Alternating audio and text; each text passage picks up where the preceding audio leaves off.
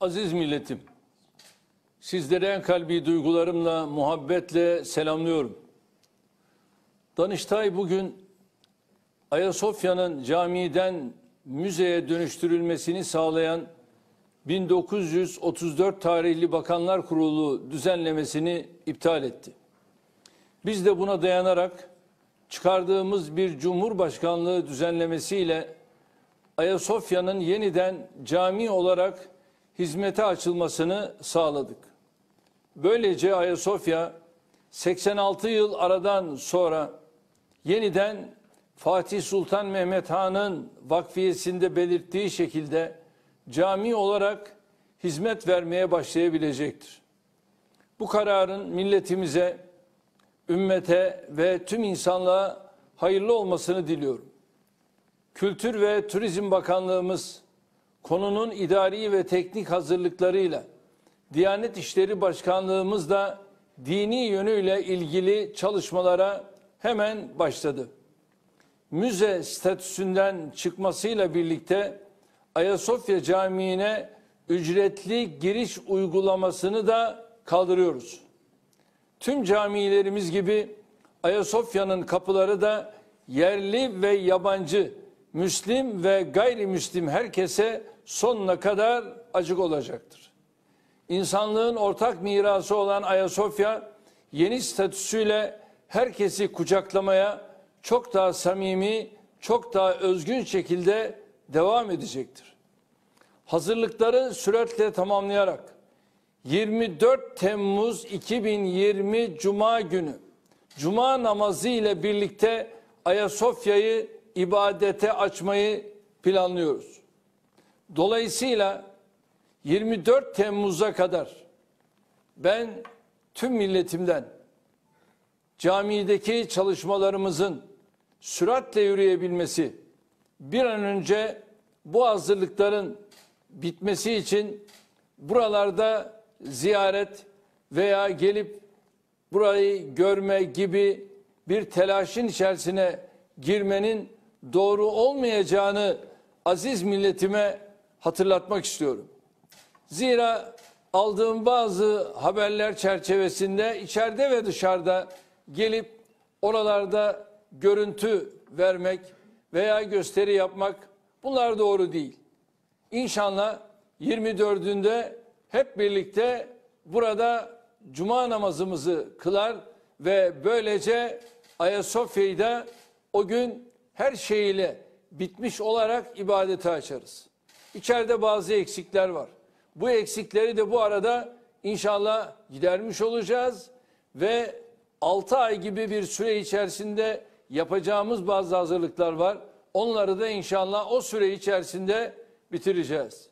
Tabii öyle bir burada hazırlıklar yapıyoruz ki bu hazırlıklar içerisinde Müslim gayrimüslim, Hristiyan dünyasından kim gelirse gelsin. Hepsi geldiği zaman burada yapılan dedikoduların olmadığını tam aksine gerçekten bizler ecdadımızdan devraldığımız mirası nasıl geleceğe taşıyacağımızın da en güzel örneğini vereceğiz. Herkesi ülkemizin yargı ve yürütme organları tarafından alınan Ayasofya kararına saygılı olmaya da davet ediyorum. Uluslararası alanda bu konuda ortaya konan her türlü görüşü elbette anlayışla karşılarız. Ancak Ayasofya'nın hangi amaçla kullanılacağı konusu Türkiye'nin egemenlik haklarıyla ilgilidir. Yeni bir düzenlemeyle Ayasofya'nın ibadete açılıyor olması ülkemizin egemenlik hakkı kullanımından ibarettir. Türkiye Cumhuriyeti'nin bayrağı neyse, başkenti neyse, ezanı neyse, dili neyse, sınırları neyse, 81 vilayeti neyse Ayasofya'nın vakfiyesine uygun şekilde camiye dönüştürülmesi hakkı da odur. Bu konuda görüş belirtmenin ötesindeki her türlü tavrı ve ifadeyi bağımsızlığımızın ihlali olarak kabul ederiz. Şu anda hemen arkamda bakınız dev bir vakfiyename vardır. Ve bu Fatih'in vakfiyenamesidir. Ve bu vakfiyename içerisinde ne varsa o bizim için asıldır.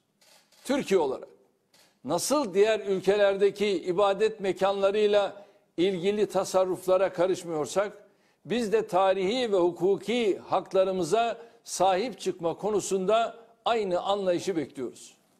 Üstelik bu öyle 50-100 yıllık değil, tam 567 yıllık bir haktır.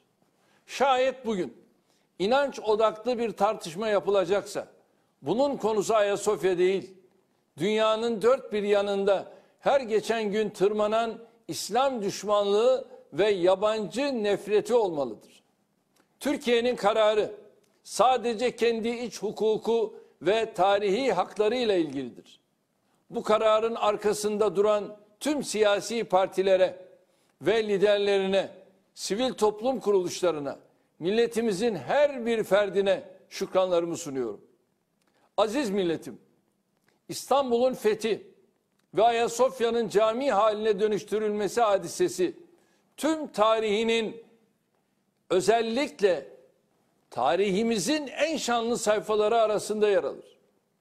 Uzun bir kuşatmanın ardından 29 Mayıs 1453 tarihinde İstanbul'u fethederek şehre giren Fatih Sultan Mehmet Han doğrudan Ayasofya'ya yönelir. Bizans halkı korku ve merakla Ayasofya'da akıbetlerini beklemektedir. Fatih kendisini karşılayan halka hayatları ve hürriyetleri konusunda teminat vererek Ayasofya'ya girer. İstanbul'un fatihi fetih sembolü olarak sancağını Ayasofya'nın ortasındaki mihrabın bulunduğu yere diker. Kubbeye doğru bir ok fırlatır. İlk ezanı da kendisi okur. Böylece fethini tescillemiş olur. Ardından mabedin uygun bir köşesinde şükür secdesi yaparak iki rekat namaz kılar. Bu davranışıyla da Ayasofya'yı camiye çevirdiğini gösterir. Sultan Fatih İstanbul'un incisi bu ulu mabedi zemininden çatısına kadar büyük bir titizlikle inceler. Tarihçilerin yazdığına göre Ayasofya'nın kubbesine çıkan Fatih Sultan Mehmet Han yapının ve çevrenin harap görüntüsü karşısında şu meşhur Farsça beyti söyler. Perde dari mi konet ber kasri kayser ankebut büm nobet mizenet dertaremi efrasiyab. Bugünün Türkçesiyle tekrarlayacak olursak, örümcek Kayser'in sarayında perdekarlık yapıyor, baykuş Efrasiyab'ın burcunda nöbet tutuyor. Evet, Fatih Sultan Mehmet Han işte böylesine harap, bitap, perişan bir İstanbul ve Ayasofya devralmıştır. Esasen Fatih'in teslim aldığı Ayasofya daha önce aynı yere yapılan ilk iki kilise kargaşa dönemlerinde yakılıp yıkıldığı için üçüncü defa inşa edilmiş bir eserdir. Fethin ardından üç günlük hummalı bir çalışmayla ilk cuma namazı için Ayasofya ibadete hazır hale getirilir. Devlet erkanı ve askeriyle beraber camiye giren Fatih burada kubbeleri çınlatan tekbirler ve salavatlarla karşılanır. Ayasofya'daki ilk cumanın hutbesini Fatih irad eder. Namazı da hocası Akşemseddin Hazretleri kıldırır. Fatih diğer Hristiyan mezhepleri tarafından dışlanan Ortodoks kilisesini de himayesi altına alarak gelişmesini sağlar. Bu ulu mabedin kubbeleri ve duvarları o günden itibaren 481 yıl boyunca ezanlarla, salalarla, tekbirlerle, salavatlarla, hatmi şeriflerle, mevlidi şeriflerle çınlamıştır. Asırlarca yaşadığı depremlerden, yangınlardan, yağmalardan ve bakımsızlıktan dolayı harap vaziyette olan İstanbul fetihle birlikte yeniden ayağa kaldırılmıştır. Bu sürecin sembolü de Ayasofya'dır. Fatih Sultan Mehmet Han'dan itibaren her padişah İstanbul'u ve Ayasofya'yı daha da güzelleştirmenin gayreti içinde olmuştur. Şehrin ulu camisi olarak belirlenen Ayasofya zaman içinde etrafına ilave edilen yapılarıyla tam tekmil bir külliye haline dönüştürülmüş ve asırlarca müminlere hizmet vermiştir. Neredeyse takip eden her asırda büyük onarımlara tabi tutulan eklemlerle daha da güzelleştirilen Ayasofya'ya milletimiz hep göz bebeği gibi bakmıştır. Öyle ki Tanrı'nın hikmeti anlamına gelen orijinal ismini değiştirmeye dahi teşebbüs etmemiştir. Görüldüğü gibi köhne bir devletin çöküntüsü altında yıkılmak üzere olan bu mabet ecdadımız tarafından sadece camiye dönüştürülmekle kalmamış, aynı zamanda ihya ve ilah edilmiştir. İşte bunun için Ayasofya'nın her devirde bu milletin tüm fertlerinin gönlünde ayrı bir yeri olmuştur. Bizim de gençlik yıllarımızdan beri kalbimizde bir Ayasofya sevgisi vardır. Bu mabedi kültür hazinesi kimliğine halel getirmeden vakfiyesine uygun şekilde yeniden ibadete açarak milletimize önemli bir hizmet verdiğimize inanıyoruz. Aziz milletim, milletimiz için fetih, cihadı asgar hükmündeyken asıl cihadı ekber, imar, inşa ve hayrat faaliyetleriydi. Doğu Roma döneminde Ayasofya inşa edilirken Mısır'dan İzmir'e, Suriye'den Balıkesir'e kadar imparatorluğun dört bir yanından malzeme taşınmıştı. Fatih ve ardından gelen padişahlar Anadolu'nun ve Rumeli'nin her yerinden zanaat erbabını İstanbul'a getirerek hem Ayasofya'yı hem şehri adeta yeni baştan imar ve inşa ettirdiler. Bunu yaparken de devraldıkları mirastan azami derecede faydalandılar. Mesela Fatih Ayasofya'nın içindeki sabit mozaikleri korumuş, sadece taşınır heykelleri yapıdan çıkarttırmıştır. Asırlar boyunca yerinde kalan mozaikler daha sonraki onarımlar sırasında peyderpey kapatılmış, böylece dış etkilere karşı korunması ve bugünlere gelmesi temin edilmiştir. Esasen farklı inançların mensuplarına hoşgörüyle bakmak dinimizin özünde var olan bir yaklaşımdır. Peygamber Efendimiz aleyhissalatu vesselam tebliğini sürdürürken Müslümanlara saldırmayan ve bozgunculuk yapmayan diğer dinlerden topluluklara herhangi bir müdahalede bulunmamıştır. Hazreti Ömer de radıyallahu an Kudüs'ü aldığında şehirdeki Hristiyanlara ve Musevilere hakları ve ibadethaneleriyle koruması altına almıştır. Ecdadın kurduğu tüm devletler gibi Osmanlı'nın yöneticileri de aynı yolu izlemiştir. Fatih'in ve ardından gelenlerin İstanbul'da yaptıkları da bu kadim geleneği takip etmekten ibarettir. Medeniyet tarihimizin en önemli isimlerinden olan Mimar Sinan, Ayasofya'ya en çok katkı yapan kişilerin başında geliyor. Ayasofya Camii, mihrabı, minberi, kürsüsü, minareleri, hünkâr mahfili, levhaları, nakışları, şamdanları, halıları, şadırvanı ve diğer tüm unsurlarıyla 481 yılda bu hale geldi. Tarih boyunca hep İstanbul'un en kalabalık cemaatlerinin toplandığı Ayasofya, teravih, Kadir Gecesi ve bayram gibi müstesna günlerde gerçekten çok göz alıcı manzaraların yaşandığı bir yer olmuştur. Dolayısıyla Türk milletinin Ayasofya üzerindeki hakkı yaklaşık 1500 yıl önce bu eseri ilk inşa edenlerden daha az değildir.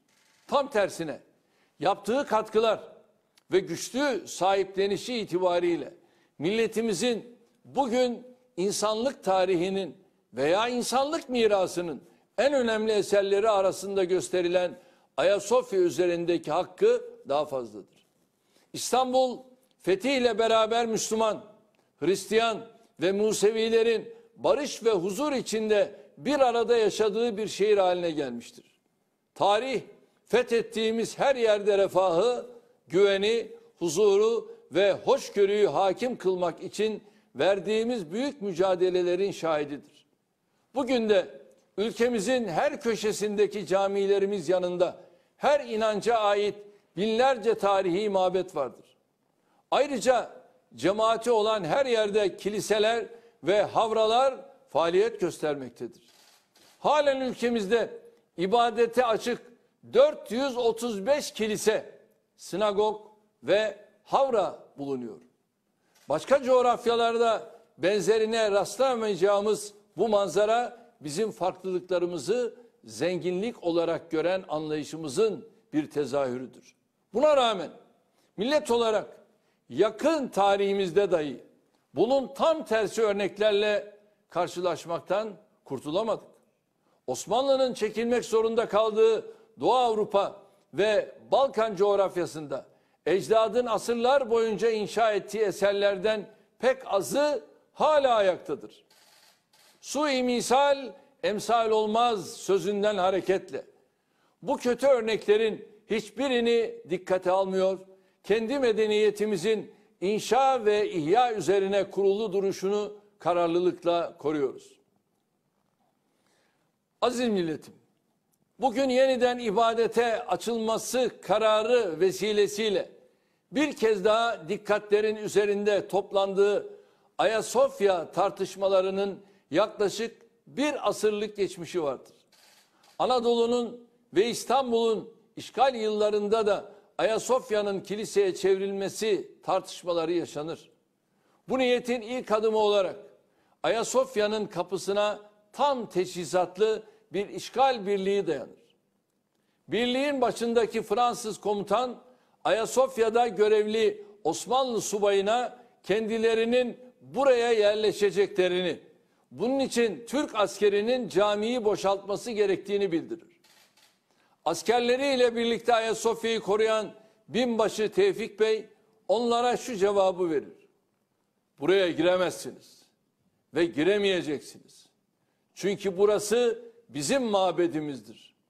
Şayet cebren girmeye teşebbüs edecek olursanız size ilk cevabı şu ağır makinalılar sonra da caminin dört köşesine yerleştirdiğimiz tahrip kalıpları verecektir. Ayasofya'nın üzerinize yıkılmasını göze alabiliyorsanız buyurun girmeyi deneyin. Böylece işgalcilerin Ayasofya'yı ele geçirme ümitlerini boşa çıkarır. Ayasofya'ya yabancı ilgisi daha sonraki yıllarda mozaik tamiri gibi bahanelerle sürer.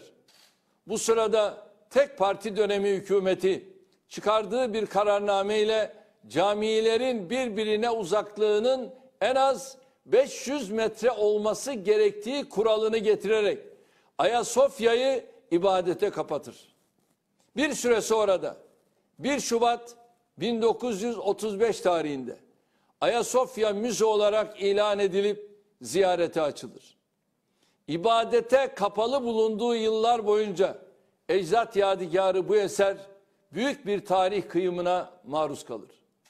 Caminin bitişiğindeki İstanbul'daki ilk Osmanlı Üniversitesi olan ve Fatih tarafından inşa ettirilen Ayasofya Medresesi sebepsiz yere yıkılarak ortadan kaldırılır. Ayasofya'nın zemininde serili nadide halılar kesilerek sağa sola dağıtılır. Antika şamdanlar eritilmek üzere dökümhaneye götürülür. Halen yerinde duran şaheser levhalar ise çok büyük oldukları için kapıdan çıkarılamaz ve mecburen depoya kaldırılır. Bu levhalar daha sonra Demokrat Parti devrinde tekrar yerlerine asılır. Ayasofya'nın uğradığı tahribat bunlarla sınırlı kalmaz. Cami olduğu devirlerden hiçbir eser kalmasın isteyenler az kalsın Ayasofya'nın minarelerini dahi yıktıracaklardı. Nitekim Sultan II. Beyazıt döneminde camiye çevrilen Küçük Ayasofya'nın minaresi hukuki hiçbir dayanağı olmadan bir gecede yerle eksan edilir. Sıranın Ayasofya'ya geldiğini gören tarihçi, gazeteci ve müzeci İbrahim Hakkı Konyalı hemen bir rapor yazar ve neşreder. Merhum Konyalı'nın raporunda bu minareler kubbenin desteğidir. Eğer minareler yıkılırsa Ayasofya'da yıkılır dendiği için mecburen yıkımdan vazgeçilir. Aynı dönemde ülkemizin dört bir yanında pek çok caminin, medresenin, ecdat yadigarı eserin başına benzer felaketler gelmiştir. Esasen tek başına veya tek parti döneminde alınan bu karar tarihe ihanet olmanın yanında hukuka da aykırıydı. Çünkü Ayasofya ne devletin ne de herhangi bir kurumun malı değil, vakıf mülküdür. Fatih İstanbul'u fethettiğinde Roma İmparatoru ünvanını da almış ve dolayısıyla Bizans hanedanı üzerine kayıtlı bulunan tüm emlake sahip olmuştur. İşte bu hukuka istinaden Ayasofya'da Fatih'in ve onun kurduğu vakfın üzerine tapulanmıştır. Cumhuriyet döneminde bu tapu senedinin yeni harflerle hazırlanmış resmi bir sureti de çıkarılarak hukuki statüsü tescillenmiştir. Ayasofya Fatih'in tapulu mülkü olmasaydı hukuken burayı vakfetme hakkı da bulunmazdı. Fatih Sultan Mehmet Han Ayasofya'yı da içeren 1 Haziran 1453 tarihli yüzlerce sayfalık vakfiyesinin bir yerinde aynen şunları söylüyor. Kim bu Ayasofya'yı camiye dönüştüren vakfiyemi değiştirir, bir maddesini tebdil eder, onu iptal veya tedile koşarsa, fasit veya fasık bir teville veya herhangi bir dalavereyle Ayasofya Camii'nin vakıf hükmünü yürürlükten kaldırmaya kastederse aslını değiştirir, füruğuna itiraz eder ve bunları yapanlara yol gösterir, yardım ederse kanunsuz olarak onda tasarruf yapmaya kalkar, camilikten çıkarır ve sahte evrak düzenleyerek mütevellilik hakkı gibi şeyler isterse yahut onu kendi batıl defterine kaydeder veya yalandan kendi hesabına geçirirse huzurunuzda ifade ediyorum ki en büyük haramı işlemiş ve günahı kazanmış olur. Bu vakfiyeyi kim değiştirirse Allah'ın, peygamberin, meleklerin, bütün yöneticilerin ve dahi bütün Müslümanların ebediyen laneti onun ve onların üzerine olsun. Azapları hafiflemesin. Haç gününde yüzlerine bakılmasın. Kim bunları işittikten sonra hala bu değiştirme işine devam ederse günahı onu değiştirene ait olacaktır. Allah'ın azabı onlaradır. Allah işitendir, bilendir. Evet, bugün alınan karar aynı zamanda Fatih'in işte bu ağır bedduasından kurtulmamızı sağlamıştır.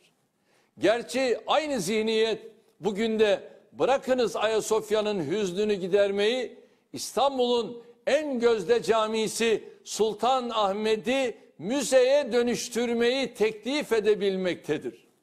Bu zihniyet geçmişte Sultanahmet Camii'ni resim galerisi, Yıldız Sarayı'nı kumarhane, Ayasofya'yı caz kulübü olarak kullanmayı da düşünmüş. Hatta bir kısmını gerçekleştirmişti. Her dönemde olduğu gibi günümüzde de bu bakış açısı çağdaşlık kisvesi altında çağ dışı bir anlayışın tezahürüdür. Vatikan'ın müze haline dönüştürülerek ibadete kapatılmasını talep etmekle Ayasofya'nın müze olarak kalmasında ısrarcı olmak aynı mantığın ürünüdür. Bunun bir adım sonrası insanlığın en eski mabedi olan Kabe'nin ve yine kadim mabet Mescid-i Aksa'nın da müzeye dönüştürülmesi isteğidir. Rabbim ülkemizi ve insanlığı bu zihniyetten ilelebet muhafaza eylesin diyorum. Rabbim bir daha bu milleti değerlerine düşmanlık edenlerle sınamasın diyorum. Aziz milletim, bazı eserler vardır ki bunlar milletlerin ve devletlerin sembolüdür. Ayasofya da işte bu sembollerimizden biridir.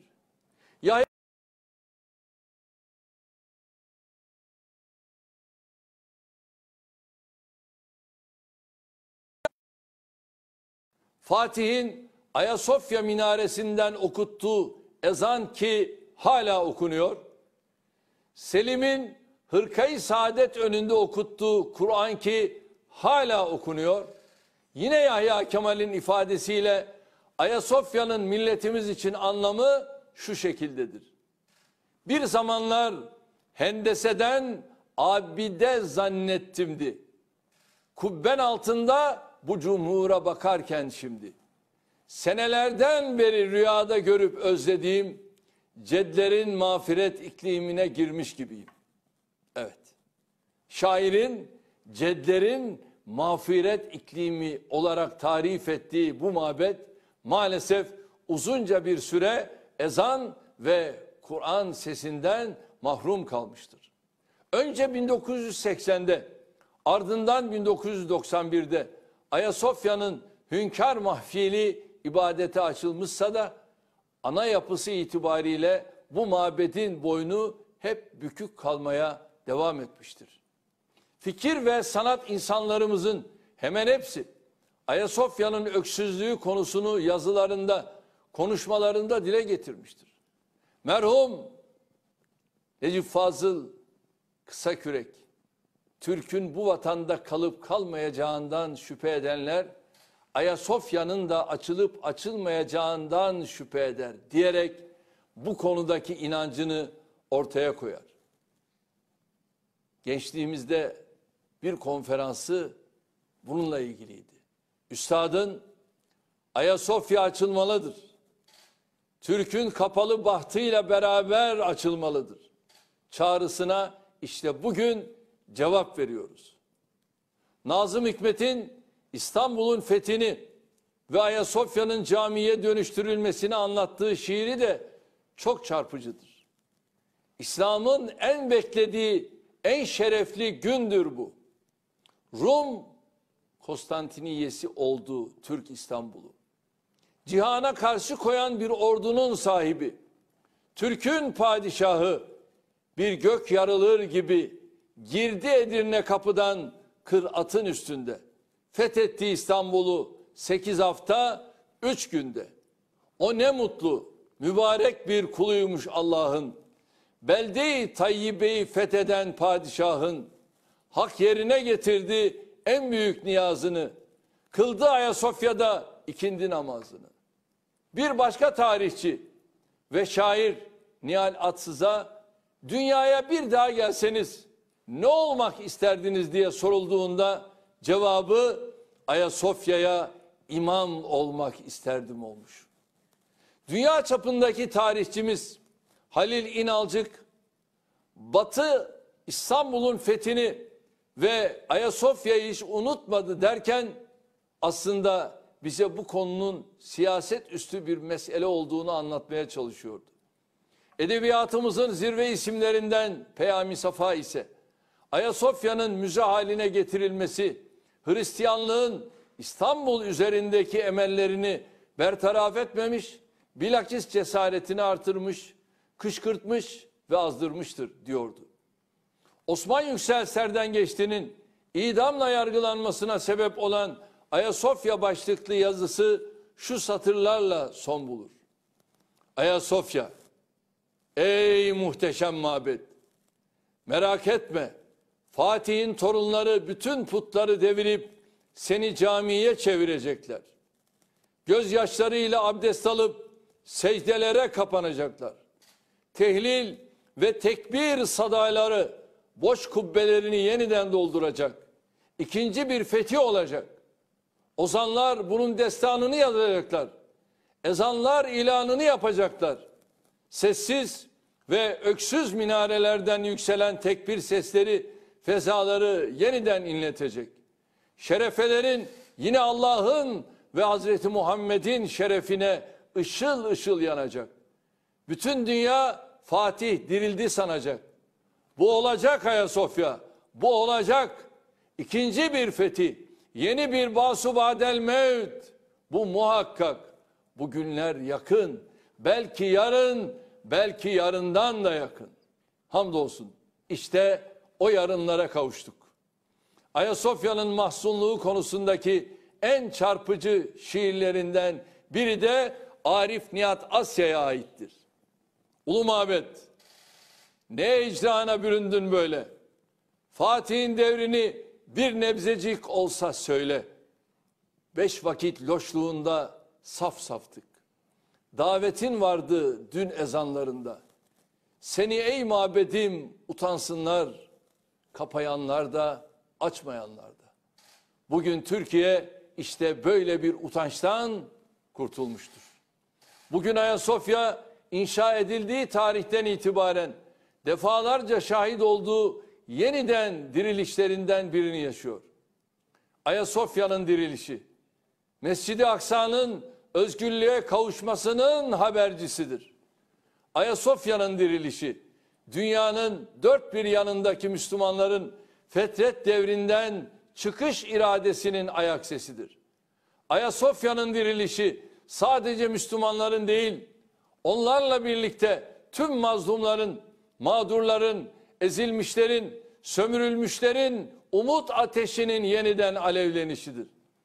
Ayasofya'nın dirilişi Türk milleti, Müslümanlar ve tüm insanlık olarak dünyaya söyleyecek yeni sözlerimiz olduğunun ifadesidir.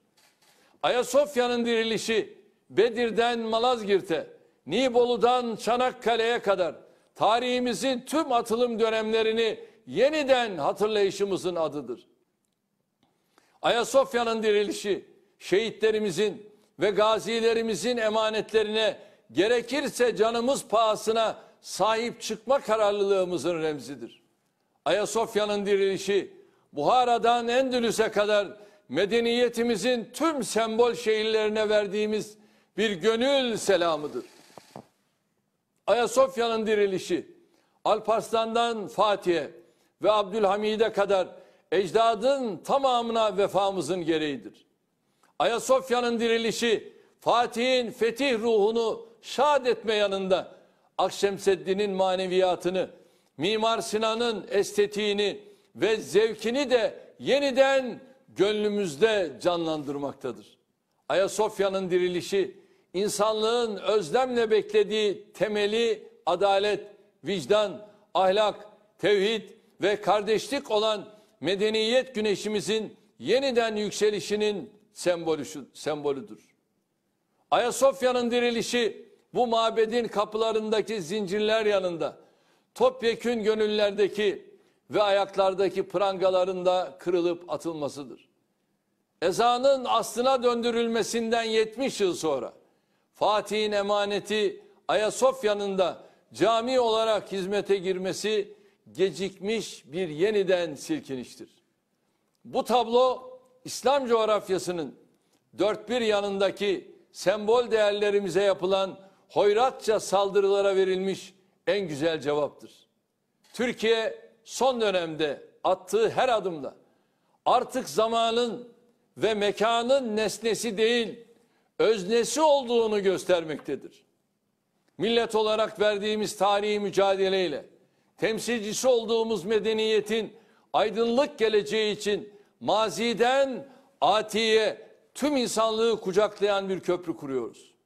İnşallah bu kutlu yolda yürümeye durmadan, duraksamadan, yılmadan, azimle, fedakarlıkla, kararlılıkla menzile ulaşana kadar devam edeceğiz. Bir kez daha Ayasofya'nın yeniden camiye dönmesini sağlayan yargı kararı ve Cumhurbaşkanlığı düzenlemesinin hayırlı olmasını diliyorum. Ayasofya'yı insanlığın ortak kültürel mirası vasfını koruyarak cami olarak ibadete açacağımızın altını da tekrar çiziyorum. Sizlere sevgilerimi, saygılarımı sunuyorum. ve Rabbime hamd ediyorum. Bizlere bugünü de nasip etti. Kalın sağlıcakla.